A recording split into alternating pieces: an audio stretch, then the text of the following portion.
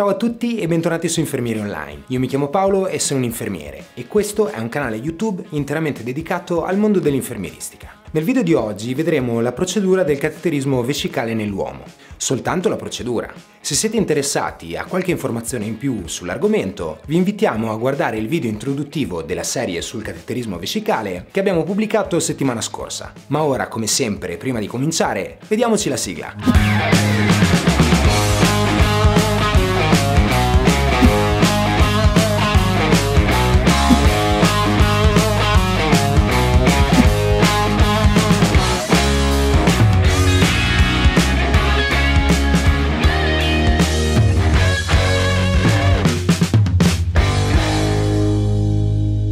Al solito vi ricordo, se non lo foste già, di iscrivervi al canale e di attivare la campanella per ricevere una notifica quando usciranno i nostri prossimi video. Il cateterismo vescicale è una procedura delicata e potenzialmente rischiosa, che deve essere eseguita da personale esperto e adeguatamente formato.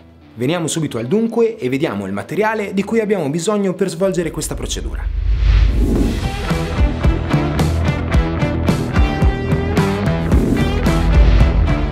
Avremo bisogno di disinfettante per le mani, mascherina chirurgica, occhiali protettivi, un set per il cateterismo vescicale, costituito da uno o due paia di guanti sterili, telo sterile forato, una siringa da 10 ml contenente acqua sterile, una siringa da 10 ml contenente lubrificante, garze sterili, soluzione antisettica e batuffoli di garza o garze già imbevute.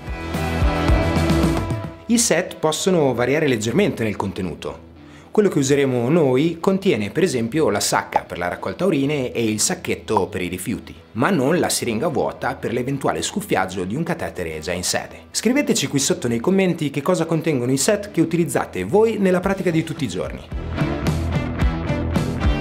Avremo bisogno ancora di un catetere vescicale adeguato al paziente e alla sua problematica e dei guanti monouso.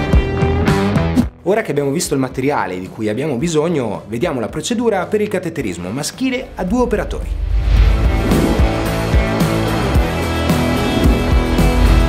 Controlliamo l'identità del paziente, lo scopo e la tipologia del cateterismo prescritto dal medico.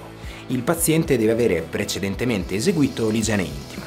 Trattandosi di una procedura sterile, dobbiamo essere sicuri che le superfici su cui operiamo siano state adeguatamente sanificate e a questo punto informiamo il paziente sulla manovra che andremo ad eseguire.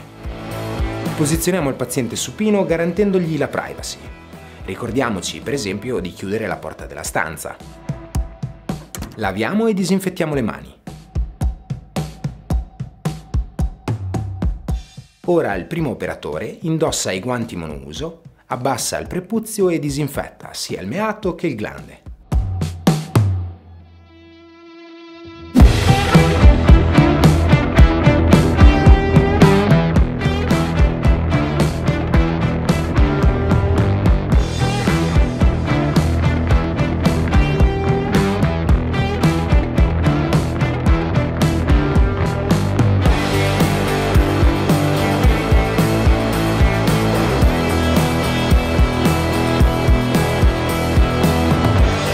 Il secondo operatore indossa i guanti sterili e posiziona il telino.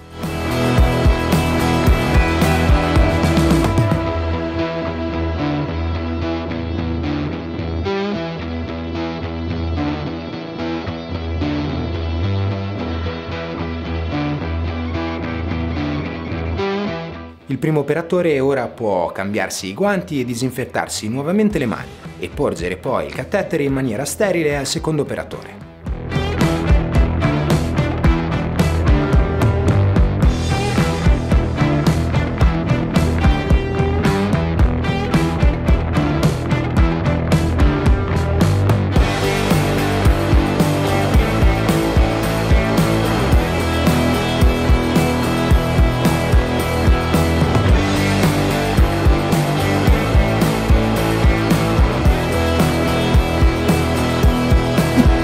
Il secondo operatore testa ora l'integrità della cuffia e raccorda il catetere alla sacca di raccolta.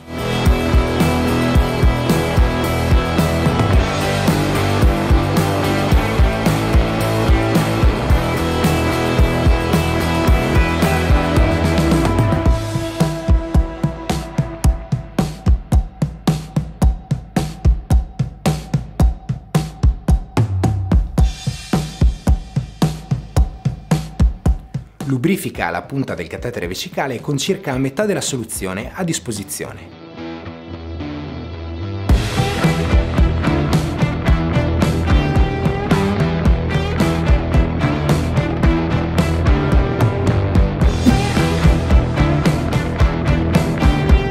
e somministra l'altra metà direttamente all'interno del meato, mantenendo la sterilità della mano dominante.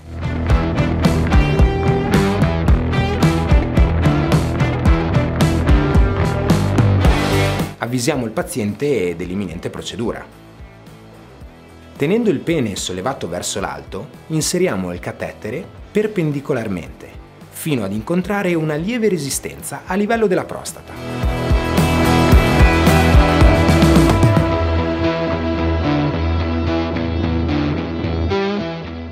A questo punto abbassiamo il pene orizzontalmente e procediamo delicatamente fino a quando non notiamo reflusso di urina all'interno del sistema.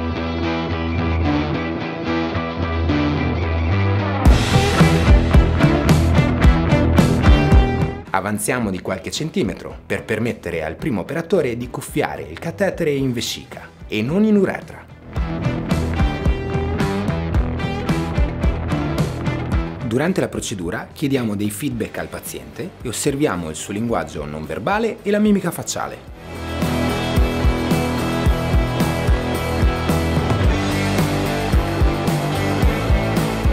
Ora retraiamo delicatamente il catetere per permettere alla cuffia di adagiarsi sulla parete vescicale. Il primo operatore, che indossa i guanti monouso, esegue ora una seconda igiene intima o sostiene il paziente nel farlo.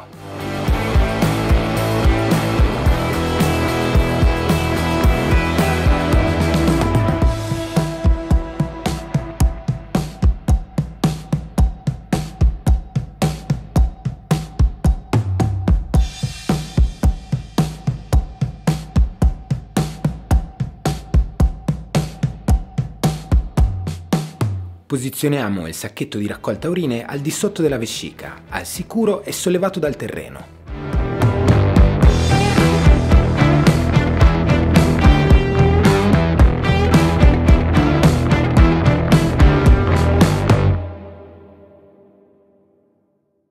A questo punto non ci resta che smaltire i rifiuti, lavare e disinfettare le mani e documentare la procedura. È possibile, ma non preferibile, eseguire questa procedura anche da soli. In tal caso sarà lo stesso infermiere ad eseguire tutti i passaggi appena visti e dovrà depositare tutto il materiale necessario in maniera sterile sul campo. Dopo aver eseguito la disinfezione del meato e dopo aver disinfettato nuovamente le mani, indosserà i guanti sterili per effettuare la procedura.